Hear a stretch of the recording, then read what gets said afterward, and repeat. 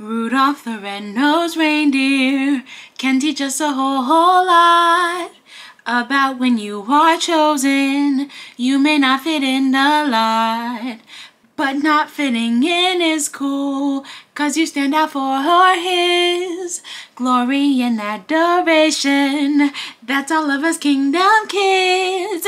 So when you are feeling down, they don't wanna hang. Remember you are chosen by the King of Kings and he never lies. So as you're sitting here now, watching me sing this song, remember that you are chosen. Everyone now sing along.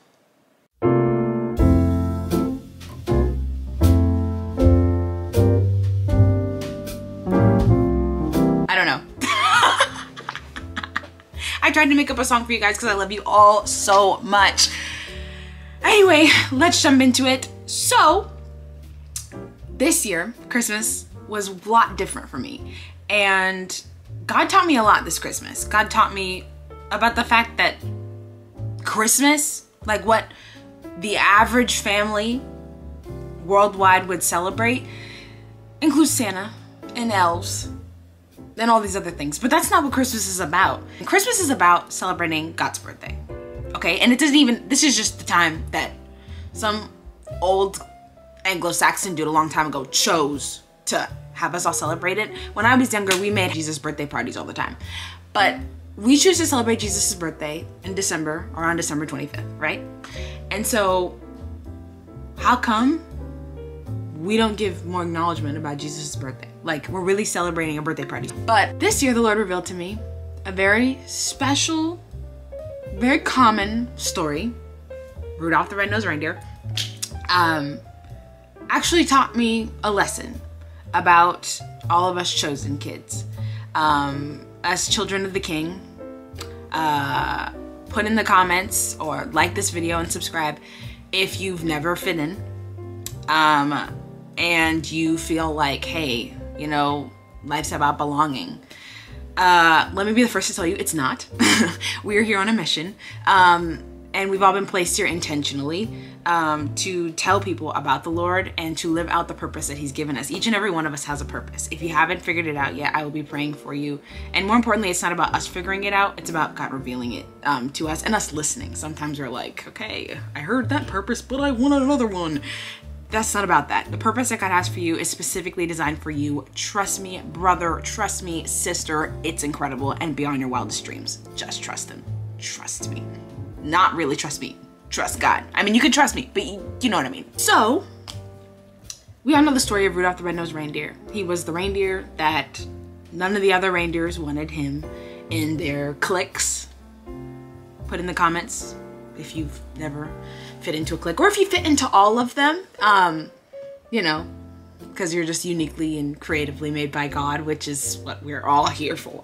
Some of us just want to deny it because we just, you know, fit in a box. But anyway, um, so yeah, Rudolph was kicked out. Like he didn't, you know, no one else wanted him in the reindeer games, which were really the foolish games um, that they were playing.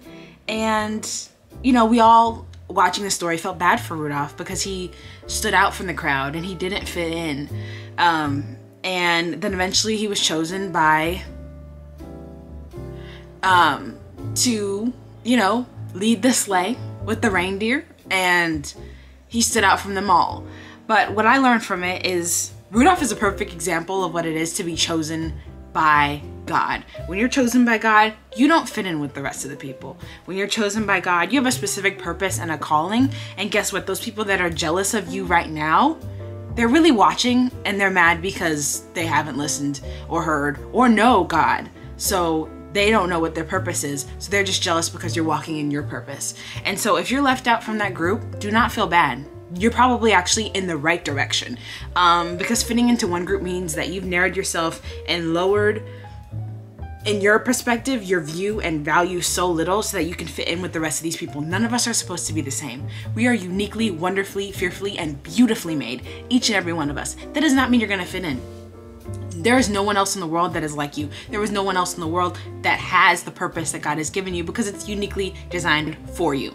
Um, those little teddy bears that you had when you were younger, I don't know what the brand is, but they had like a special code on it. Um, it's not Webkinz. Webkinz is one of them, but it's not Webkinz. Um, and the, that code was specific for that bear, right? Um, that's like your purpose. Your purpose is specific to you. No other bear, no other person has that purpose that you have.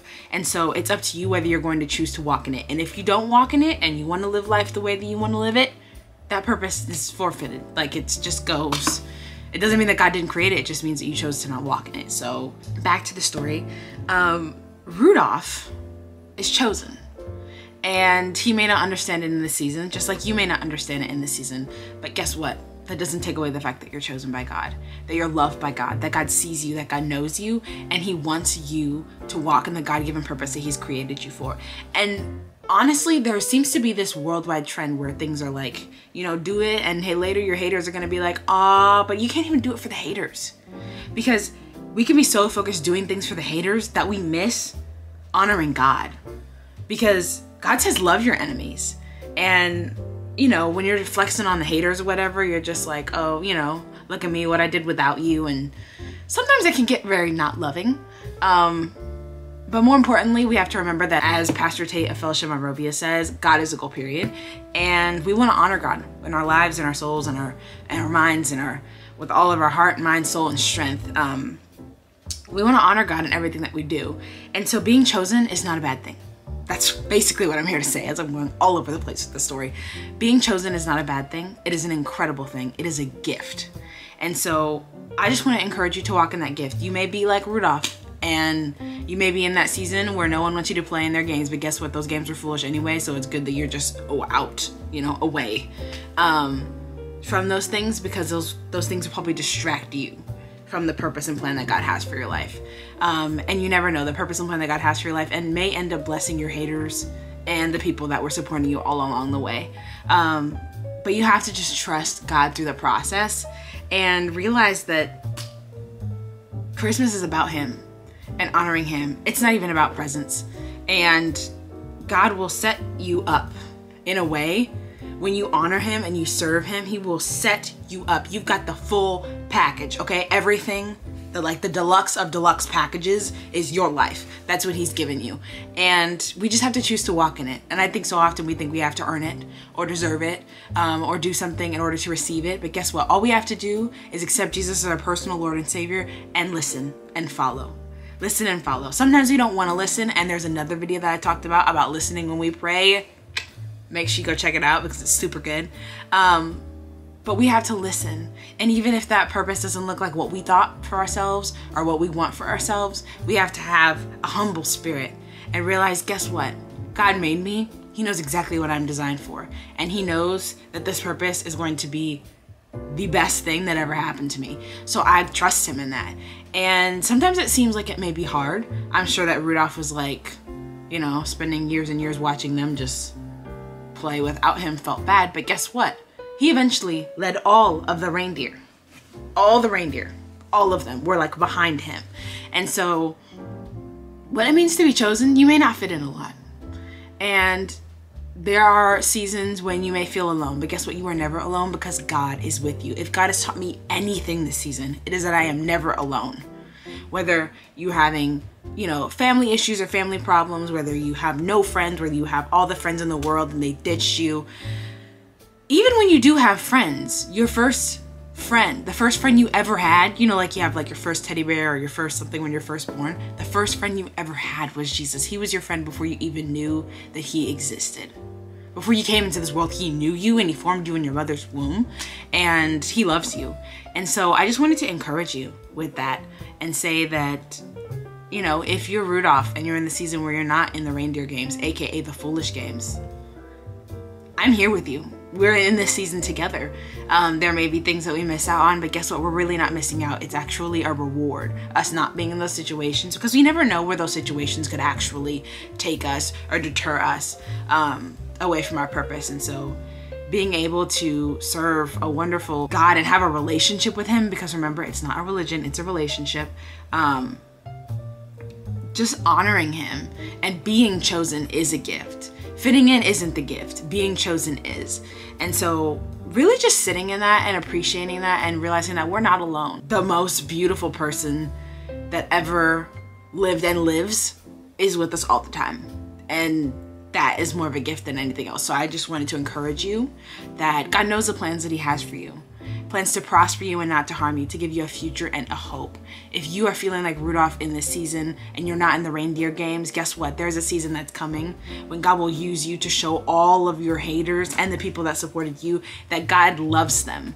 Um, and your purpose is so beautiful and I'm I don't you know what we may have never even met before you may be new to this channel my channel this journey um, but guess what I want to journey with you whatever part of the Rudolph story you're in, whatever part of the story that God um, has created for you, the purpose, whatever part of your purpose that you're walking in, if you haven't started walking in it yet, if you are walking in it, or if you plan to walk in it anytime soon, I want to be here for you and support you in that as a fellow sister in Christ. Nice to meet you. Um, so yeah, um, I just wanted to encourage you in that and say that the purpose that God has for you like I would rather be known in heaven and not be known on earth. Like I want I want my name to be in the Lamb's Book of Life. I would rather be known all in in heaven, be like, oh yeah, that's my girl, than be known on earth in the lights. And it took me a while to be able to say that because I used to be a pursuer of fame, guys. I did, um, and I'm still working on it. But it's important to realize that I'd rather go down in heaven's history than go down in earth's history. And so yeah, I just wanted to encourage you guys with that. I'm going to pray. Make sure before we pray that you like and subscribe. Comment below your favorite part um, or what season of the Rudolph story that you find yourself in. Um, yeah, I want to journey with you. We are. I'm just. I'm so excited um, that we are family and that we are here to support each other in whatever season of life that we're in, and that God is with us and we're here for a purpose. And I'm so excited to be on this planet the same time as you. Dear Heavenly Father, Lord, I come before you and I thank you, Lord, for everything that you um, do for us, um, who you are, Lord God. I thank you, Lord, for being with us, for protecting us, for keeping us safe, Father God. I ask, Lord, that whatever season of the Rudolph story that we find ourselves in, whether we're not in the reindeer games, Father God, um, whether we are currently leading others that we don't even see or know, Father God. I ask, Lord, that um, you just help us to remain in you, Lord. Fix our hearts, Lord, as we um, surrender to you, Lord. Change our hearts, purify us, cleanse us of all unrighteousness, Lord. Um, renewing us clean, pure hearts and a steadfast spirit within us, Lord. And as we tie up um, and put a ribbon on 2021 and all that we've learned, Lord, I ask, Lord, that you just be with us um, as we know you always will. Thank you, Lord, for being our very, very, very best friend. Um, I thank you, Lord, for the community and the individual that is on the other side of the screen. I ask, Lord, that you bless them um, and that you just remind them of your love and that they're chosen by you and they're loved and they have a purpose, a purpose that you've given them and nothing that they can ever do or have done will ever erase that. And so I thank you, Lord, for your mercy and your grace and your goodness. In Jesus' name, amen. Alrighty, friends. So I'm going to go. And with that, I will see you guys next time. But I love you all. Make sure again that you like and subscribe. Share this video with your friends. This is something I learned and I really wanted to share with you guys because you guys are my family and I'm super excited that you're here. All right. Bye, friends.